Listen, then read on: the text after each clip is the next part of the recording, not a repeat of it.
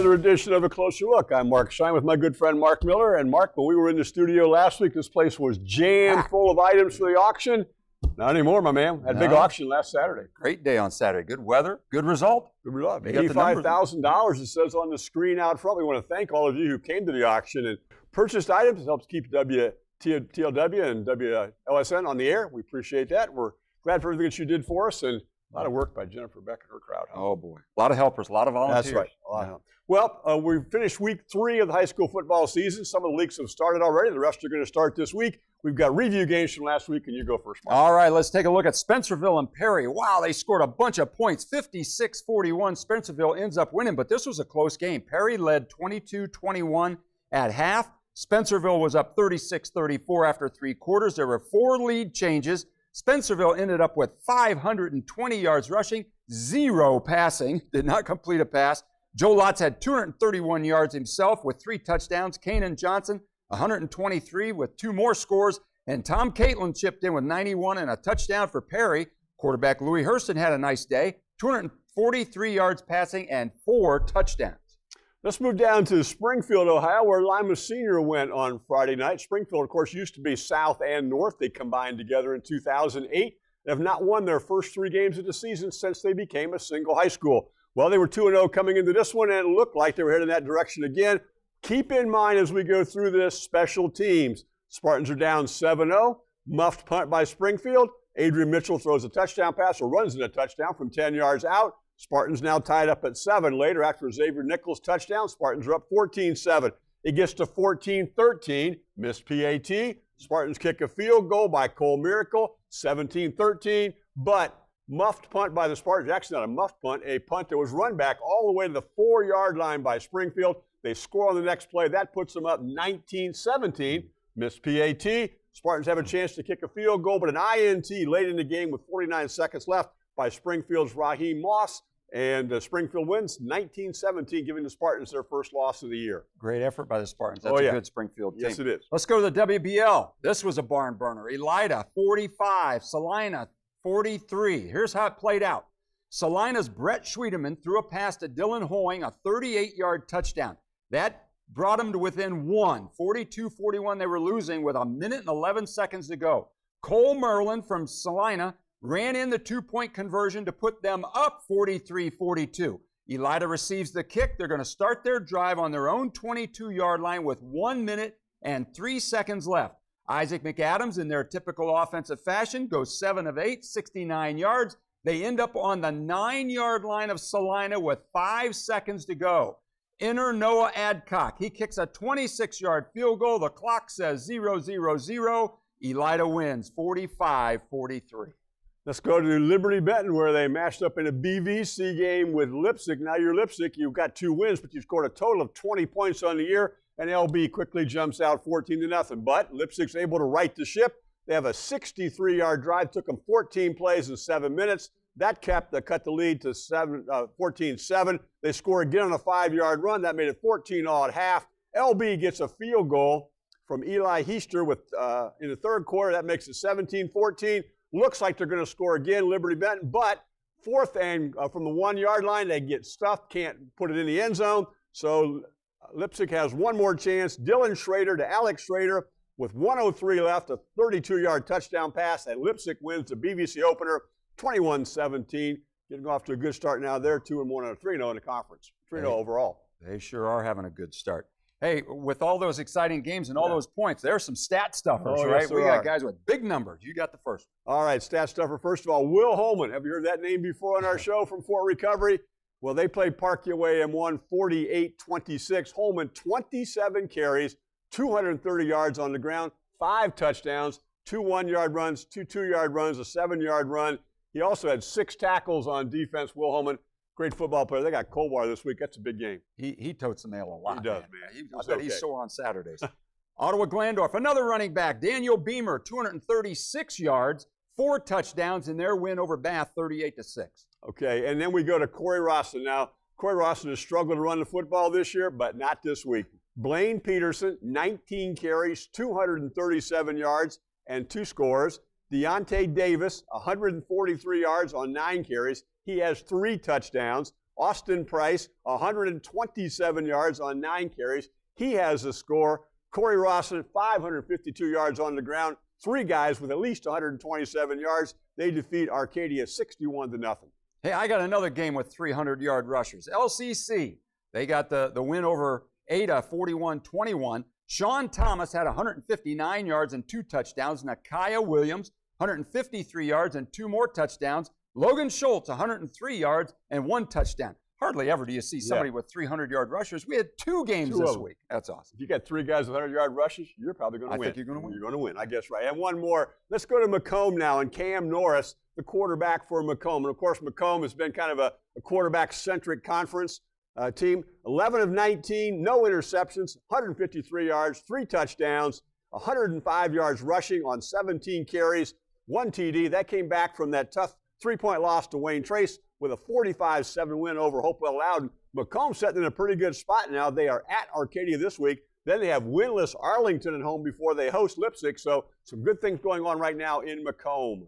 I got another quarterback. I didn't give you his stats earlier when we talked about Elida Celina because I knew we wanted to highlight Reggie, or not Reggie. How many times have we probably uh, said Isaac McAdams, the younger brother of Reggie, and that win over Celina. How's this for efficiency? Isaac was 22 of 35, 334 yards, four touchdowns, no interceptions. He ran the ball 25 more times, 126 yards, including that last second drive that got the field goal and get, a, get him a win 1 0 in the WBL. He's really having a good oh. year, isn't he? He's having, really having a, good year. Yep. Yeah. Well, you have been doing some research for us, and every week you come up with a fun football fact. And this week we're going to talk about winning percentages. It's fun for me. I don't know. OHSAA posted their playoff winning percentages. What schools in the state of Ohio have the best winning percentage with a minimum of 50 games? That sounds like a lot of playoff games, but you know, if you get hot and go down and go 5 and 0 one year, you're going to be 100%. So Marion Local, number one on the list. No surprise there for us around here. 67 and 10 is their record. That's 87% winning. Then you go to St. Henry, Delphos, St. John's. You got to go to four to get Cleveland, St. Ignatius, and then back to the locals, Coldwater and Versailles. Five of the top six are all local, and now all are in the MAC. Of course, Versailles, almost maybe almost all of those yeah. uh, playoff wins were when they were not in the MAC. But how about that? Are we lucky to have the best teams in the state as far as playoff right here in our backyard. And of course, all of us who are followers of football in our area, and especially the MAC, we look at how the playoff brackets are going to go this mm-hmm. year and all that Division Six, Region 24, and all those many of those MAC schools are stacked up in that particular yeah. region. Yeah, they're going to play each other. Yeah, that's right. And they still have great winning percentages. They are. Well, in our Where Are They Now feature, we did a little research, or you did, Mark, on one of our locals, and we didn't got some incredible this. numbers. We didn't even know okay, this. Go, go through our numbers. Well, Ben Phipps was our former director uh, here on a closer look. And we had, he's a current ONU student. He was an Elida student last year and he was helping us out. We had no idea he lifted weights. And he just won the Ohio Weightlifting State Championship. For his age and weight class, there's Ben. He cleaned and jerked 213 pounds. Now, if you've ever seen Ben, he don't weigh 213. I'm not sure he weighs 113. He's not a very big guy, but boy, he must be strong. Next month now, he gets to compete in the strongest unicorn weightlifting competition. Don't know what unicorn means. In Columbus. So he gets to go on, and there you see some of the workout regimen. Ben is a CrossFit training athlete. And man, I'm glad I never smarted off to him. He probably put me in a hold or the, something. The Ben Phipps that we knew here couldn't bench press a pencil. he must really be working out. I, congratulations, Ben, and we're really proud of what you've been able to accomplish. Well, we've got some bright spot things we want to look at too. And Mark, you have some information about National Anthem. Well, you know, we've, we've tried to promote it with the help of the station, and, and several of the area athletic directors have been very supportive. We put a letter out to all of them, just making us all aware of the proper protocol and procedure during the national anthem. You stand still, you look at the flag, you put your right hand over your heart. That's proper. Right. A lot of us just don't even know that or don't think about it. So yeah. we're just trying to make an awareness thing. Well, I had a pretty good story at church on Sunday. One of the ladies that works at Shawnee Schools said, You know, our principal, who I worked with, with for two years, Tony Cox, made an announcement and he explained the proper procedure during the national anthem. She said, Well, I didn't know that was the written procedure. And the lady next to me said, I never knew that. I'm going to start doing that from now on. So that's all this is all about. Just an awareness. People will make their own mind up whether they want to do that or not, but it is written and proper procedure to do that during the national anthem. You know what I think we like? I'd like to see personally. Many times the PA announcer will go, "Gentlemen, remove your hats and stand for the national anthem." Why don't you just add in there and put your right hand over your heart and face the flag? Yeah. Wouldn't that be a great addition? I'd, I'd really like to see that. Of course, we've been pushing that all That's year long. idea. How about another bright spot? How about the Coldwater 50-50? the winner took home thirteen thousand two hundred fifty-four dollars the other night. Needed a police escort. That's that's Maybe. that's okay. I, I was talking to an AD Saturday. He said we'd like to have a football gate of thirteen thousand, let alone what that went for the 50-50. And one more thing, Mark. Next week, something we've been involved with for the last Mhm. several years. Fields of Faith are down at Wapakoneta next Friday, uh, Saturday, next Wednesday, Wednesday. night. Yeah. Excuse me, next Yeah. Wednesday night at seven o'clock. That's been a great event for FCA. Oh, a lot of fun. Youth groups come, individual students come, teachers, coaches.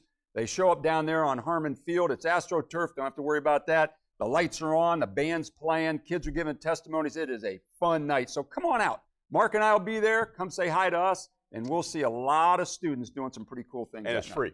It's free. It's free. There you go. All right. And then our question mark of this week comes from that Coldwater Marion local game you and I got to do. Let's take mm-hmm. you through your video here. Well, some people say, what's a flea flicker? You know, it has nothing to do with a dog. A flea flicker is a trick play, a deceptive play, a, a razzle dazzle play.